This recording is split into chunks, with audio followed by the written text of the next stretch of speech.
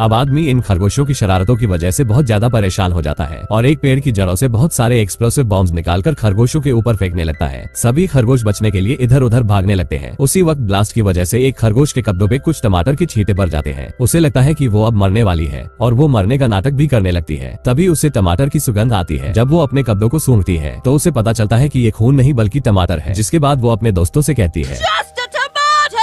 इधर ये सभी मिलकर आदमी को मार रहे थे, पर जब आदमी को पता चलता है कि वो बस टमाटर था तो आदमी उस खरगोश को पकड़कर डांटने लगता है, और उसका गला दाबने ही वाला होता है। तभी वहाँ पे आदमी की पत्नी आ जाती है। पत्नी को देखकर आदमी खरगोश को मारने के बजाय उसके मुँह में हाथ डाल डालकर खेलने लगता है। औरत कहती है की मैंने यहाँ पे धमाकों की आवाज़ सुनी। आदमी कहता है, नहीं तो मैं तो बस इनके साथ खेल रहा था। अब दोनों लोग वहाँ से जाने लगते हैं। तभी आदमी के जेब से बॉम्ब की रिमोट नीचे गिर जाती है, जिसे ये बदमाश देख लेता है, और रिमोट के पास जाकर उसकी बटन को दबा देता है, जिसके बाद वहाँ पे बहुत सारे धमाके होने लगते हैं, और पेड़ की जड़ों में इतना बड़ा ब्लास्ट होता है कि पेड़ उखड़कर घर के ऊपर गिर जाता है।